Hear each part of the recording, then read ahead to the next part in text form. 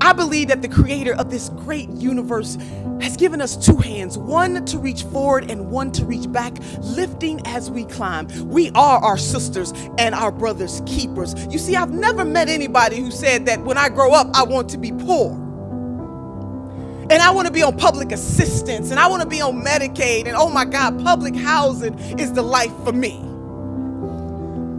But I do know people who sometimes fall short because you know what?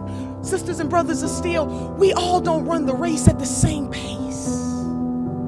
We should be happy that we are a safety net country.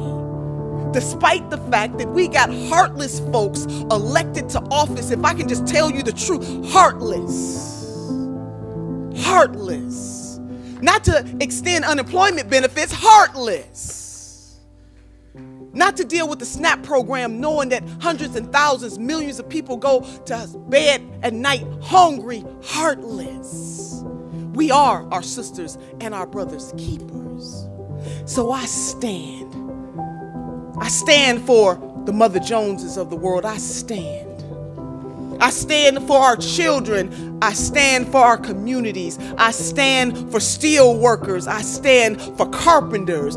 Heck, I even stand for CEOs, whether they want me to stand for them or not. The power, though, is in our hands. And I don't want you to get weary in well doing because we are the answer that we have been looking for. Stronger together we will continue to make a difference. And let's commit to continuing to use our strength to pull up and not to push down. God bless you, men and women of steel. And congratulations to the officers.